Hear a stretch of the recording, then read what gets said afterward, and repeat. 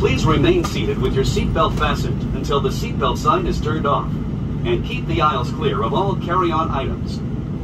Take a moment to check your seat back pocket for any personal items, like tablets and cell phones.